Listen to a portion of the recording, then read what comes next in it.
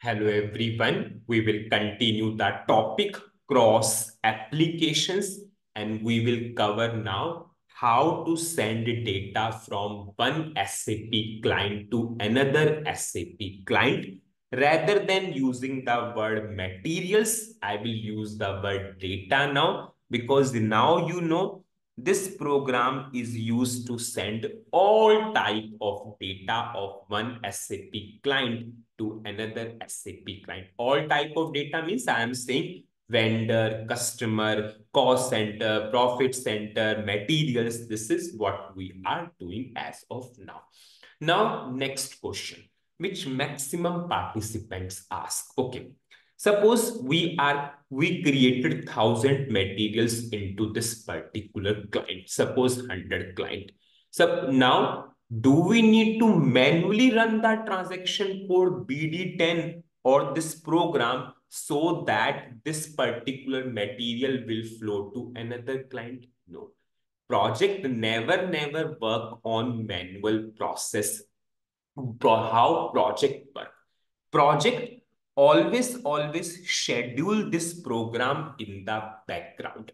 Suppose we will schedule this program in the background, which will run after one hour or two hour, five minutes, 10 minutes. It depends upon the customer wish or customer input. Then in that case, what will happen?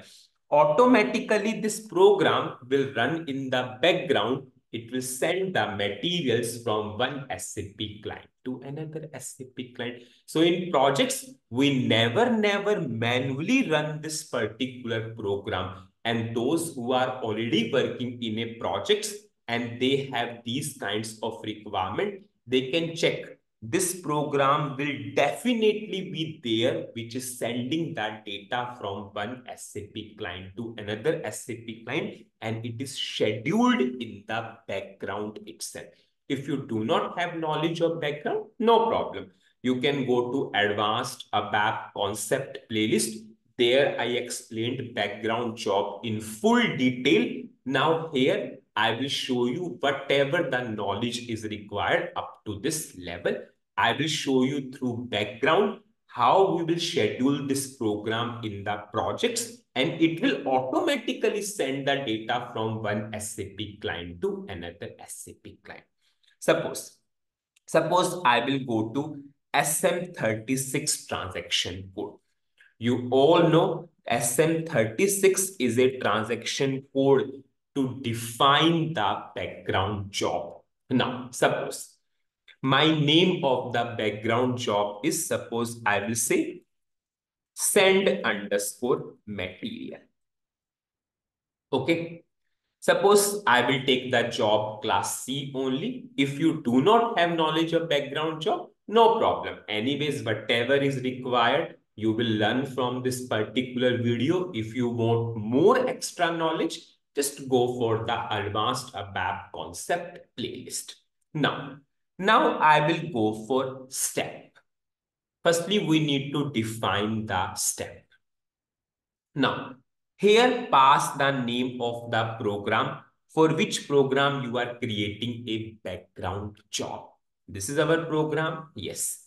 Now, here we need to compulsory pass the variant. Suppose if I will go for this particular program, I'm running independently. Now, when this program will run in the background, how system know that you are running the program for MATMAS? Here in foreground, we are putting MATMAS and we are clicking on to execute button. But in background, how system know that you want to run for MATMAS, you want to send the materials. So in that case, what we will do, I will create a variant. Suppose I will pass this message type. I will click on to save. And suppose my variant name is material. I will put the short description. This is extremely important whenever you do not, because in background, you cannot pass the input. So in that case, you can go for variant. So our name of the variant is material. Okay, it is already existing. I will go for different one. I will not override. Suppose I will say mat. Sure, we'll go for mat. I will say. So we created the variant with mat. You can see here itself the variant. Mat. Whenever I will choose mat, suppose if I am running the program again, those who don't know variant, they will now understand. There's no need to put MATMAS go for this variant, mat. Okay. Now, whenever we will pass this variant here now, what is the name of the variant? Mat. It means it will automatically take the input as what? MATMAS. I will go for save. Done. So our first step, done. I will go for save. Please save because after this only you will get the message your job is scheduled. If I will go to SM37, you can check the job through SM37. You can see we have a job in the scheduled status. If I will go here, send underscore material and what is the status scheduled. Suppose this background job will run after every two minutes. Suppose, so I will go for start condition. Suppose I will go for date and time. Okay, I will choose date. Suppose date is 16th. I will pass that time. Suppose I will take one minute later because once I will finish, the time will reach up to that. Suppose I will take 40. Okay, 1140. Okay, done. Now I will go for periodic job. Periodic job means we will run after a certain amount of time. So I will put after every two minutes because it is not the case that it will run only one time. You are creating only material one time you are creating and this job will run after two minutes and it will send. I will go for save. Save. We will save. Now when do not forget to save. You should get a message. Your job is the has the status released. If I will refresh, you can see the job status is released Still, the job has not started because we put that time after two minutes. Now, meanwhile, I will create materials. Suppose I will go to MM01. Suppose I am saying send underscore 41. Suppose there are so many customer team who are creating materials. Testing EA. Save. So we created the material send underscore 41. I'm creating material send underscore 42. I'm going for description EA save. Suppose I created two materials. Now I will not run the program because it is already scheduled in the background. I will refresh. Okay, still it has not started. Still it is in the release status. Now, yes, it started. Delay is going on, but yes, soon the job will finish. And have you seen the job is finished? Please, it's a humble request to all of you because if you are doing the practice, please, please delete your job because unnecessary you are giving load to the system. Just see, we scheduled that job and it is running after two minutes automatically. So it's a humble request Otherwise, basis person will come to you and say, why, why this unnecessary job is running if you are doing it for practice purpose. Suppose now the job is finished. If I will show you the status of this job, job log, you can see total 28 IDOCs generated. We have not run the program. And if I will show you 200 client, this is the 200 client. Okay. This is the 200 client. Okay. We'll see where is the 200 client. This is 200 client. We created material what? Send underscore 41. It came automatically. I have not run the program in the foreground. Program run in the background and it came automatically. Send underscore 42. Done.